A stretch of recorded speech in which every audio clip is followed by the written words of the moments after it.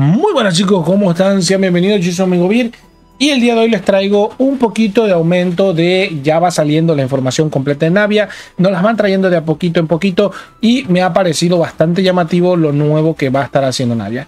Si bien en este video que están viendo en pantalla, ahí está el link, ¿vale? Para ir al video, lo pueden buscar con el nombre que está aquí en la, la parte de arriba, que se llama Posible Kit de Navia, ¿vale? Lo pueden buscar en el canal, ¿vale? Aquí es donde hablo de las habilidades que nos muestran. En este caso, el día de hoy, chicos, voy a hablarles sobre nueva información que ha salido, sobre todo la de su arma y sobre todo la de sus posibles constelaciones, ¿vale?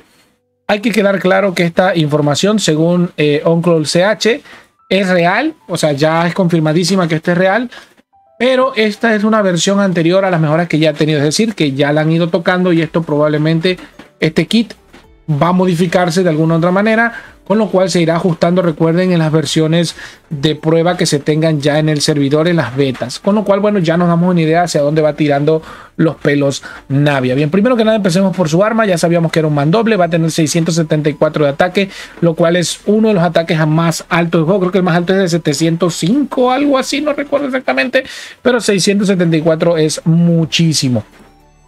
Tenemos por aquí que va a tener 22.1 de probabilidad crítica, está bastante alta. Recordemos que en este caso no sé si solamente el arma o ella va a tener, sobre todo ella pueda que tenga eh, un bastante probabilidad, pero creo que no, creo que ella escala, si no me recuerdo en el video anterior lo mencioné, va a escalar en ataque, con lo cual ese 22.1 en el arma viene bastante bien para que pues bueno podamos poner en el casco un casquito de, de probabilidad, con lo cual vamos a tener Solamente con ese casco de probabilidad vamos a tener en este caso una probabilidad de 50%, con lo cual estaríamos libres para ponerle a cualquiera de las otras cuatro piezas mucho porcentaje de daño crítico, con lo cual nos quedarían cuatro piezas, llegando 4 multiplicado por 20, que sería el estándar para el daño crítico, tendríamos una, una navia con alrededor de 200 de daño crítico, lo suficiente para hacer daño.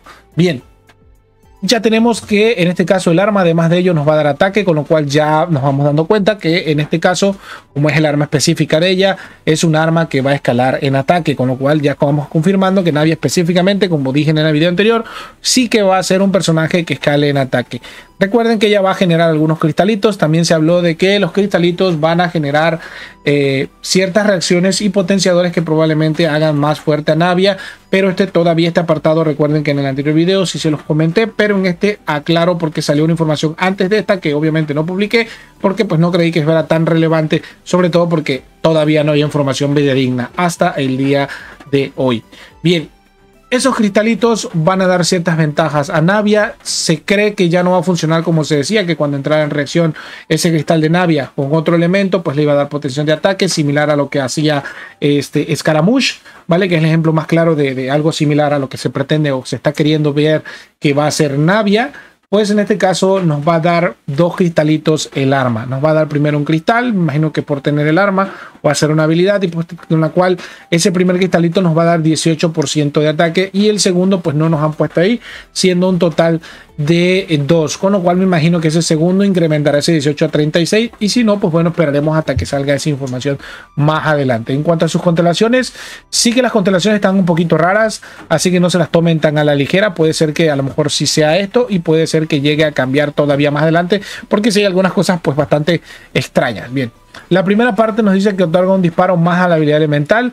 Esto quiere decir que no entre paréntesis nos pone eh, Oncolache, nos pone que no aumenta en el número de usos. Recuerden que ya tenemos un ejemplo de esto y que se llama Dori, la cual, bueno, cuando tiene cierta constelación, pues hace su cañón y en vez de salir una bala, salen dos.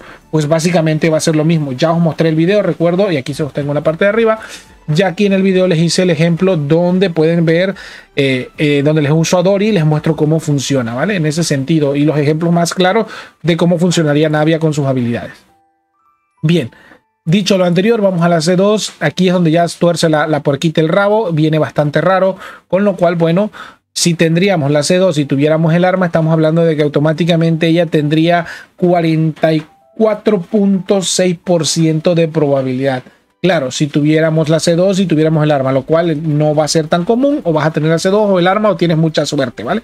Pero usualmente casi nadie va a la primera por C2 de las personas que no tenemos, como yo, que tampoco tenemos el costo para pues costearnos un personaje tan caro en cuanto a las dos cuestiones que son el arma, precisamente porque es al azar, y la C2 que también es al azar, ¿vale? El 50-50. Bien, nos dice por ahí que nos va a dar 22% de probabilidad crítica en el arma. Ya aquí nos está definiendo que probablemente si esto no se cambió a versiones futuras, que ya sabemos que se cambió algo, pero no nos han dicho qué, el incremento de probabilidad va a ser en el arma, no en, no en el arma, pero en la habilidad, no en el personaje en sí. Ahí un error mío por mi parte, ¿vale? El 22% de arriba es para todo el kit del, de la personaje, pero el de abajo de la C2 es solamente para su habilidad, que básicamente ahí es donde va a estar su al parecer su daño. Lo que sí nos dice por ahí también es que hay una definitiva más después de la habilidad elemental. Puede ser que la definitiva, en este caso, si no mal recuerdo, era un cañón grande, un disparo grande, con lo cual, pues en este caso va probablemente a disparar dos cañonazos. Con lo cual quiere decir que a lo mejor la habilidad definitiva no va a pegar tanto, sino va a ser más o menos como lo que hace Cookie, que básicamente tiene el ultimate y pega poquitito y no hace tanto daño. Es más el show que, que la canción. Con lo cual el, el, el potencial de Navia se va a estar yendo a la habilidad.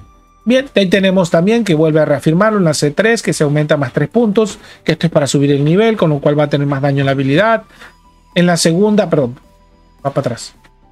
En la constelación 4 va a reducir la resistencia. Esto es súper importante, ¿vale? Porque aunque se vaya a donde se vaya el personaje, será permanente, o sea, eh, de evento, va a reducir con la C4, que vuelvo a repetir, no es que la gente vaya a sacar a C4, habrá quienes sí, habrá la mayoría de nosotros no, incluyéndome, va a bajar la resistencia 20%. Recordemos que Songli hace lo mismo, pero Songli lo hace con todos los elementos, ella solamente lo va a hacer con Geo. Pero recordemos que también hay un personaje de constelación 6, que en este caso se llama Gorou, para aquellos que sí lo deben de tener ya actualmente el Gorou, si quisieron sacar a Ito baja creo que otros 20 o otros 40. No recuerdo exactamente aquí el dato, pero sí recuerdo que baja. Y también ya teniendo la constelación 4 de ese personaje, también se vuelve healer, con lo cual puede activar el doble geo que le da más daño de ataque, si no me recuerdo, a Navia. Y encima también le va a bonificar más daño a Geo por tener doble geo y encima también le va a proporcionar más daño crítico a ella como personaje geo y protegerla sobre todo como si fuera un Bennett entre comillas. Bien, la C5, pues ya sabemos, la típica, incrementa en este caso la Ultimate. La C6, chicos, aquí es donde se van las cosas al aire. Se van un poquito demasiado de las manos a la persona que, bueno, pasó esto o al que creó a la personaje. Recuerden que esto lo van a ajustar, pero por ahora nos dice que van a aumentar el daño crítico de la E un 105%. Estamos hablando de que si 200 de manera normal con una navia más o menos bien armada, 200 de ataque crítico con 50 de probabilidad, más 100% de daño crítico en la habilidad. Recuerden que esto es en habilidad, no es acumulable a todo el daño del personaje. Pues estaríamos hablando de que sería un daño bastante alto en la habilidad. Esto dice también nos da 6 acumulaciones en la E Imagino que antes en las piedritas. La habilidad tiene 6 acumulaciones. Las primeras 3 acumulaciones son multiplicadoras. Esto no se especifica todo muy bien cómo está. Con lo cual, pues bueno, tampoco tengo mucha idea de ello.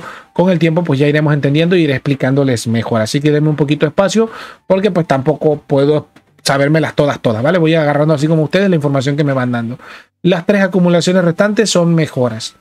Esto no sé cómo será, pues básicamente eh, son multiplicadoras. Me imagino que esa multiplicadora quiero suponer que es para aumentar el daño de alguna manera. Y las otras tres acumulaciones son mejoras. ¿Cuáles mejoras? Todavía no tenemos esa información. Recuerden que ella cada vez que haga ciertas reacciones elementales va a tener ciertos bonos. O sea que puede llegar a ser como por ejemplo en el caso de Najida, que cuando tiene tres elementales, por ejemplo en el campo, y tiene la constelación 2, si no me recuerdo Najida, o uno, no recuerdo cuál las dos, pues va a permitir que esta pueda tener dobles personajes en el equipo y generar eh, ese aumento ya sea de daño, ese aumento de duración de habilidad, etcétera. No sabemos todavía qué mejoras va a dar, pero igual en el video anterior, recuerden que nuevamente aquí se los pongo en pantalla por si quieren buscar el video cómo se llama, explico sobre esa cuestión de esos posibles aumentos de cómo podrían ser, ¿vale? Ya sean los casos más prácticos que serían Scaramouche y Najida. Bien, de ahí tenemos que eh, el CD, que es obviamente el tiempo de espera, ¿vale? De la habilidad elemental es más corto que el de la, de la E de Yelan, o sea, cada rotación lo va a tener prácticamente.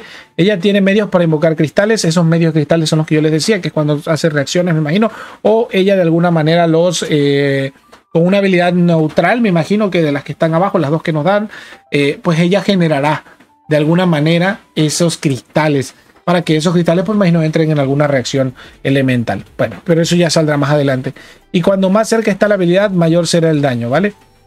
Tiene medios para invocar cristales. Me imagino que esos cristales cuando te acercas a un enemigo, porque obviamente vas a hacer DPS, me imagino que ese cristal generará algún campo, eh, eh, me imagino como alguna habilidad como la de Bennett, un circulito en el cual vendrá marcado hasta dónde alcanza ese cristal, pues ella va a tener mucho más daño cuando esté cerca de los enemigos de ese cristal, porque recuerden que ella va a disparar al parecer con un cañón de lejos, ¿vale?